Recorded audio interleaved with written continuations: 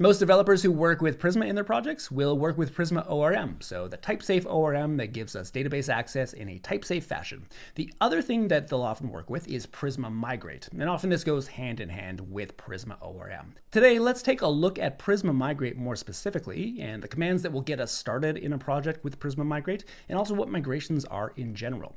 So we have got this project here, one model, which is this user model, and we're working with a SQLite database in this case, just to show show off what we have here. I've got this migrations directory in the Prisma directory here. We've got two migrations. So if you're unfamiliar with migrations, you might be wondering what the heck this stuff is. This first one has got a timestamp and then underscore init. Init was the name that I gave to this migration. If we look inside of it, we have got this migration.sql file. what we see here is a SQL command, create table user.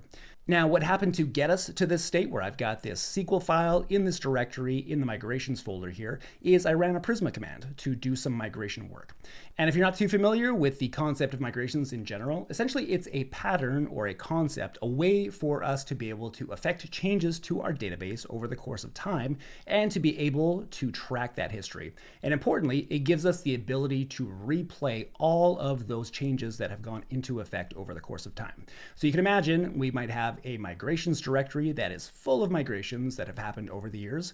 What we could do if we were setting up a new developer on our team is we could have them get their workspace set up, get everything ready in their environment files, and then have them spin up a local database where they replay all of those migrations to get their database into the exact state that it is currently matching in production.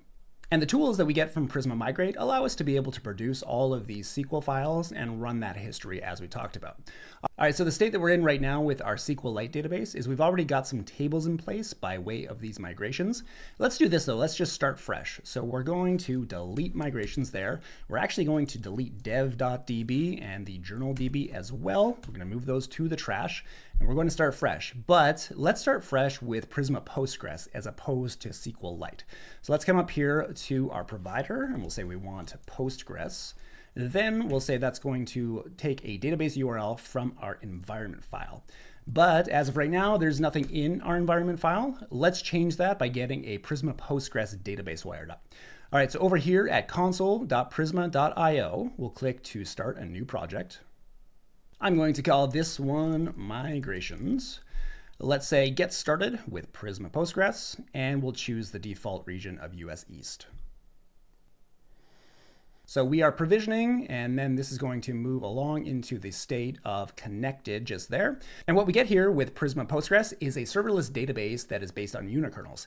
And one key feature of that is it means there are no cold starts for our databases. So if they go to sleep, they boot right back up the next time that we access them. All right, so let's grab these keys. We've got a database URL and a Pulse API key. We can click to copy. Then back over here in the environment file, we can paste those in. Let's now open up the terminal here. So I've got the terminal over here in Cursor. What I'll do is I'm going to remove these fields so we can get ourselves into a starting point that gives us a more minimal model here. All right, so we've got our user model. So the first command that we're going to focus on here is one that we're going to typically use when we're in development, and that is npx prisma migrate dev. So migrate dev is a command that you're probably going to run quite a lot. And what this is going to do is it will create that migration directory with the SQL file that we saw, and it will apply that change against our target database all in one go. So if we hit enter now, we're going to be prompted for a name for this migration. And typically what we can do is we can call that first migration init or something like that. All right, so enter a name for the migration. We will call it init. All right, so our Prisma client generated against that migration. And importantly, we've got this migrations directory with an init migration. And there is our table, create table user. Now we've actually got some seed data set up here over in seed.ts, just a couple user records.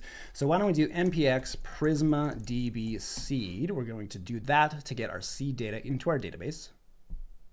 Okay, the seed command has been executed. That's great. Why don't we take a look in Prisma Studio to see our data in place? So over here, let's click Studio. And there's our three records. We've got Alice, Bob, and Carol all set to go in the database. So now let's talk about what happens when we want to go and make a change to our schema. So we can come back over to our schema, and let's say we wanted to add some fields. We had these previously, like address line one. That should be a string. We'll fill out the rest there. I'm going to make all of these optional actually. So we'll make all of those optional. Now, what we could do to get ourselves into a state where we've got the database using this schema is we could just run a command like we had before, which is npx migrate dev. We'd give it a name like add address or something like that. But I think what we'll do just to demo things for the next topic here is let's run npx prisma migrate dev like we had, and then we'll do create only. That's a flag we can pass to say that we only want to create this migration. We'll create a folder for it and a file for it, but we won't actually run it against our database. So migrate dev with a create only flag. We get a prompt for the name. That can be add address fields. And the note that we get here is that we have got our migration file, but it has not been applied. And then we can actually edit that file, and then we can apply it by running Prisma Migrate Dev. Now we could apply it with Prisma Migrate Dev, but there's another command that I want to show right here, which is Prisma Migrate Deploy. And this is a command that we're typically not going to use in local development here, but it is something that we'll use when we go out to any kind of remote environment like a development, staging, or prod environment. And the idea is this. When we run Prisma Migrate Dev, we're going to have our migration files in place. They get produced. They get applied against our local databases or some remote database that we might be working with. And then when we go to commit our changes to source control and those changes affect a deployment, we need to run a Prisma migrate deploy command to have those changes take effect against whatever our target database is in those environments. So for example, when we merge up to get our changes into production, we'd want to run this command in that pipeline to have our production database take the shape of whatever is in our migrations history. So by way of example here, we have got these address fields that have been put into place by, by, way of this SQL file here, but it's not yet affecting our database. So let's run this, npx prisma migrate deploy. All right, and so all migrations have been successfully applied. We can go and confirm that over in Prisma Studio here. Let's refresh and then if we take a look over here at the fields, we've got some new ones. So these are the fields that have been put into place through that latest migration. And so again, the idea here is that we're not going to use this command, the migrate deploy command, if we're working locally. But this is something that we would run in our CI/DC pipelines or however it is that we affect our remote environments.